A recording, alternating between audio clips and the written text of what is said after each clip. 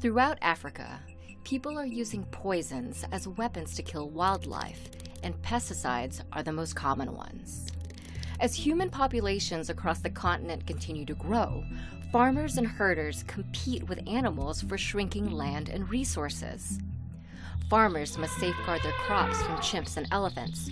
Herders kill lions and leopards in retaliation for eating their cattle. People hunt small animals like doves and ducks for meat.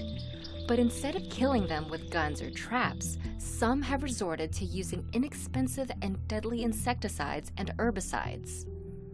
What they may not know is that this causes a disastrous trickle down effect into the rest of the ecosystem. When herders add poison to carcasses used to bait lions, the same carcasses may be eaten by vultures and eagles, which themselves are then poisoned. When villagers drop poison in a pond to kill fish and ducks for food, other animals like otters and hippos drink that water and die. When farmers sprinkle pesticides on seeds and fruits used to bait elephants, other animals like storks and insects also eat the poisoned food. And people who consume poisoned meat and water without knowing it can get sick as a result.